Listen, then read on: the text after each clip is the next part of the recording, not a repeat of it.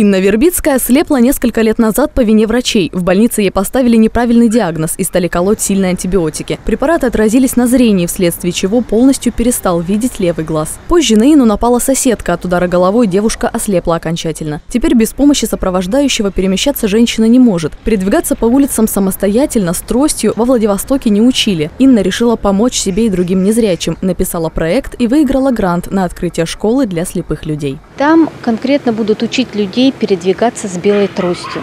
То есть, чтобы они могли самостоятельно изучить э, маршруты и по ним передвигаться без сопровождения. Школа «Белая трость» начала работать в середине августа. Занятия состоят из теории и практики. Сначала рассказывают о разновидностях тростей, как отрегулировать их длину под себя, как правильно их держать и использовать. На практике отрабатывают услышанное. В дальнейшем индивидуально будут учиться пользоваться маршрутами первой необходимости. Самостоятельно человек этому научиться не может опытным путем. Как вот находить препятствия на улицах и пользоваться направляющими ориентирами, теми же самыми бордюры, тротуары, леера, Э, как правильно передвигаться по личным маршам, это все вот надо незрячих обучать. Сколько потребуется времени на изучение маршрутов, инструкторы говорить не берутся. Зависит от индивидуальных способностей учеников. Пока ограничились тремя направлениями на одного человека. Нужные маршруты каждый для себя определил сам. Нам уже ученики дали э, те места, куда они хотят, э, основные места, где они хотят, куда добираться самостоятельно. Это в основном поликлиники. Пока в школе только шесть учеников. Здесь есть люди с остаточным зрением и те, кто абсолютно ничего не видит. Каждый из них ограничен в самостоятельных движениях. Из дома они в основном выходят сопровождающими, а в редких случаях, оказавшись на улицах одни, всегда просят помощи прохожих. Страшно переходить дороги.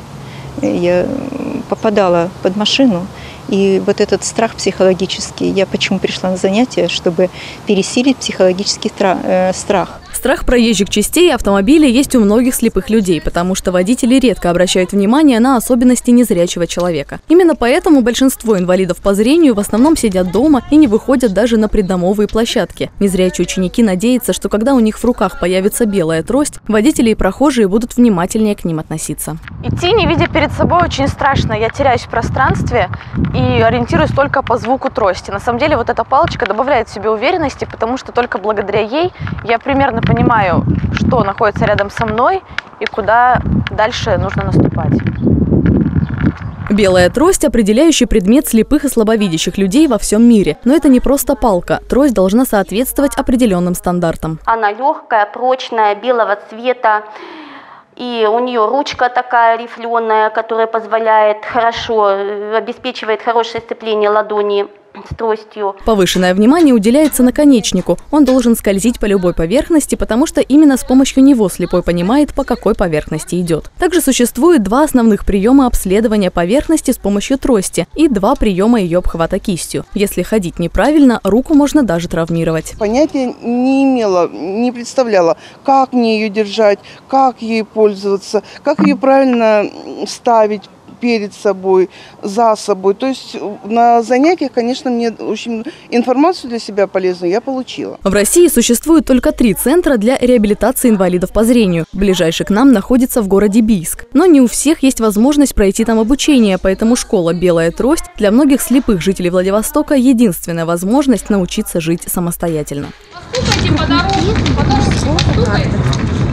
на время школу «Белая трость» приютила краевая библиотека для слепых. О своем помещении остается только мечтать. Сейчас инструкторы даже не уверены, хватит ли им средств для продолжения проекта. Почти все деньги от выигранного гранта ушли на перелет до Бийска двух инструкторов, их обучение, трости и набор первой группы учеников. Незрячие люди просят помощи у всех. Если не материальной, то хотя бы физической. Перевести через дорогу, помочь спуститься с автобуса или просто проявить терпение и понимание по отношению к медленным пешеходам, которые вынуждены перемещаться по городу на ощупь. Ирина Макрицова, Андрей Макаров. Новости на восьмом.